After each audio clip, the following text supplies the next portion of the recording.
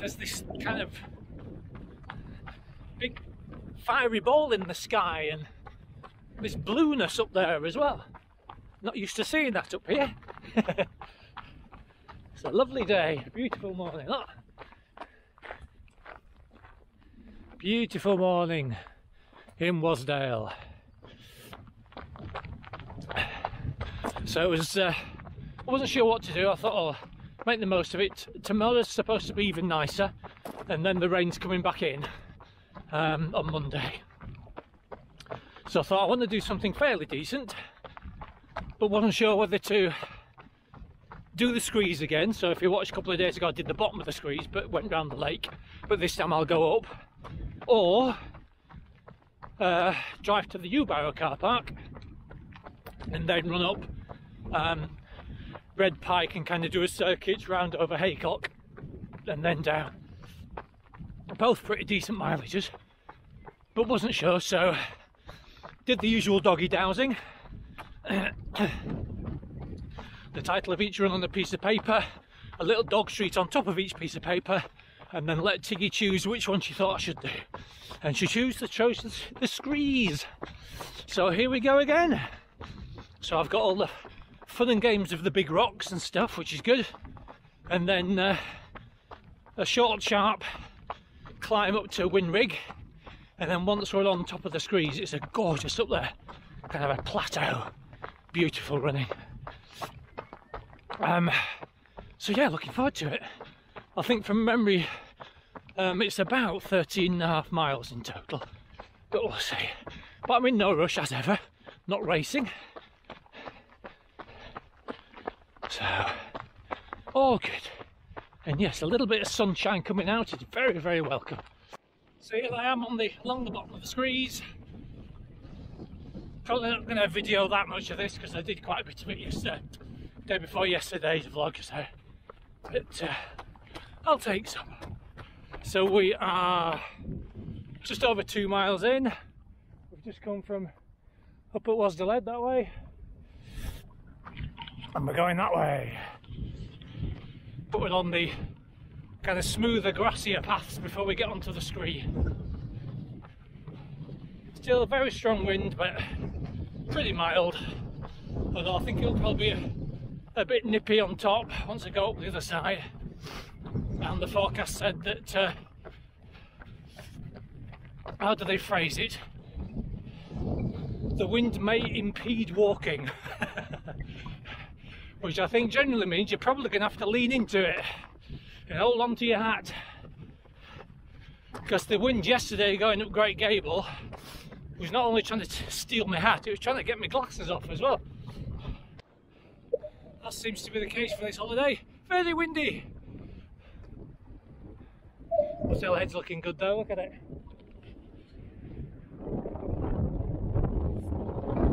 It's so busy down there for everybody on a Saturday going up Scafell Pike. I think there'll be a queue. So I'm going that way. You might just be able to wait make out the path. Well, I'm about to start the interesting bit of the scramble. So looking over to the main area, all the cars. So there's a couple of canoes out and it seems to be everybody's doing their stand-up paddleboarding these days so there's quite a few giving that a go. Uh, but we're going that way. That's the plan anyway.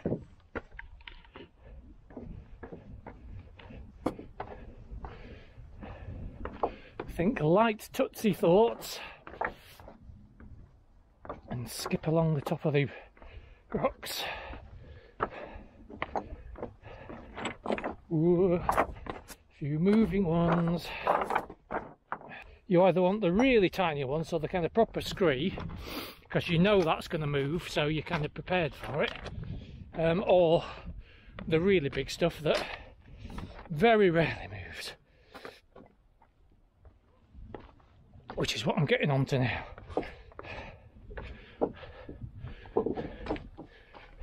I can tell you got on the bigger stuff because the uh, the noises go deeper. When you're on screen, the rocks are a bit like that. Then you got to the big stuff.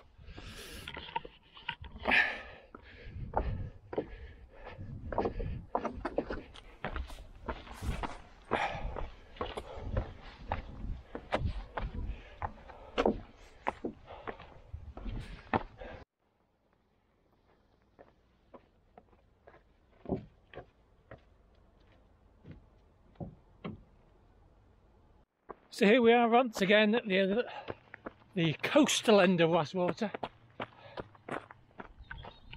which is always really peaceful despite the pump house going. It's a lovely outflow, so we just come along that way, Ooh, straight into a puddle. Should look where I'm going. And then just round this corner, whereas two days ago I turned right and then went back along that shoreline and back down the road. I'm going to be turning left at this gate and going straight up there up to the top of Whin Rigg, which is up there, which is kind of one end of the screes. And then once I'm up there, it's a beautiful grassy run all the way along the top of the screes, which is fantastic.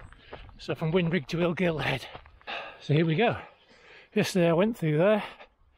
Today we're going up there. So here we are, ready for the up. So we're just looking at uh, um, Nether Wasdale. That's where my parents had a static caravan for many years and much fun was had. And that's where we've just come from. Beautiful. And we are going right up there.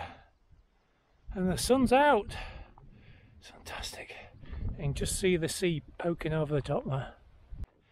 Well that's it, that's the steep stuff done. Up from the valley.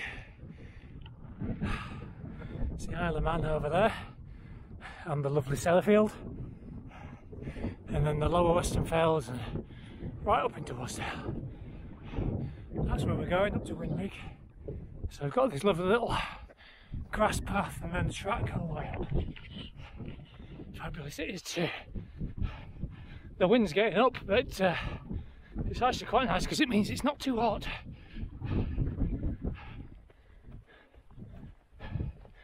Lovely and clear though. No clouds on the tops today. Well, almost to the top of Whin Rigg. They weren't kidding when they said walking might be impeded by the wind. My goodness me, it's strong. Look at that though.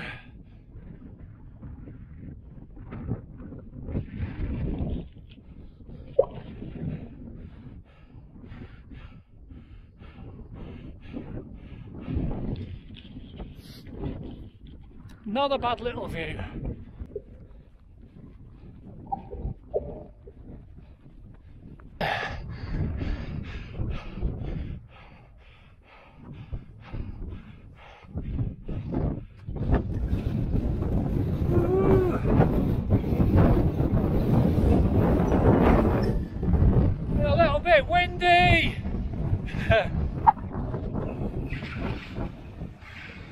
Think we'll drop down a little bit, my goodness.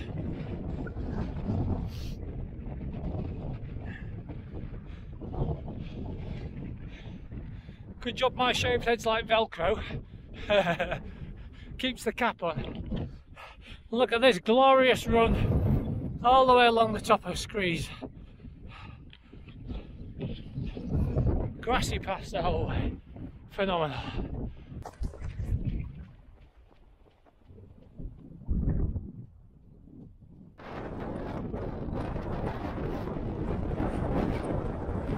snap break. A lovely view for it as well. So that's Illgill Head where, where I'm heading. Good view, but it's enough to make your knees go jelly.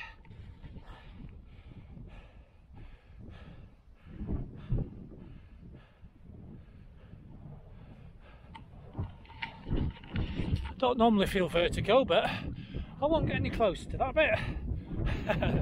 Certainly not when there's wind.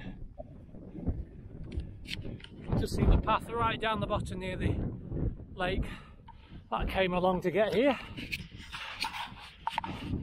Lovely, lovely.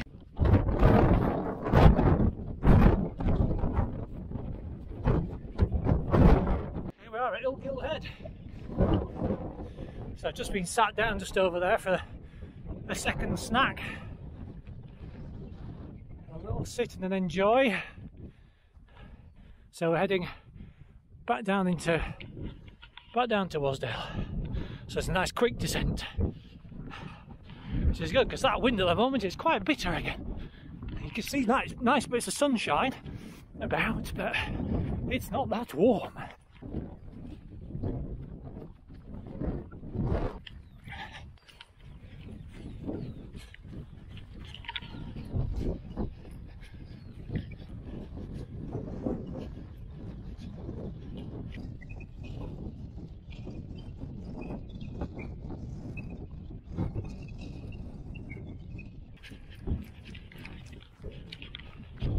Fun, fun!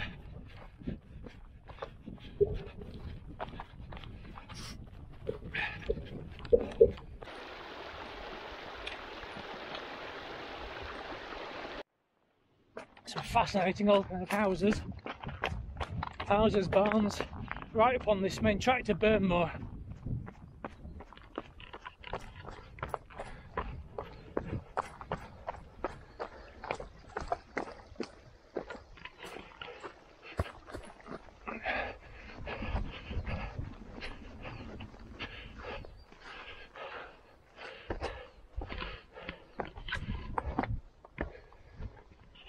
Inside.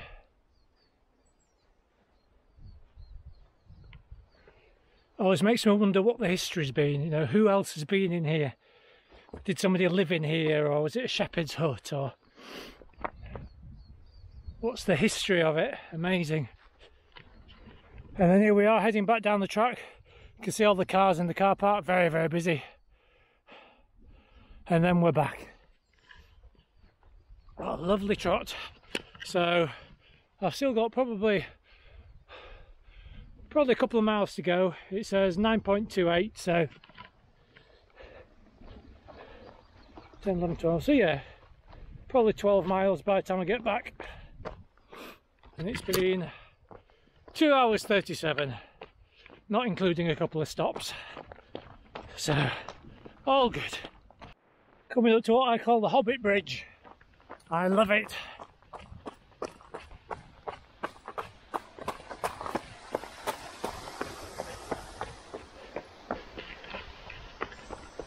Such a lovely little bridge. Back down to the lake, you can see there, almost to the uh, the main National Trust campsite, and then the car park further on. So I've just got to get across the river and then go back up the valley. So done for the day. So a lovely run, and that's where we set off along there. See you another day.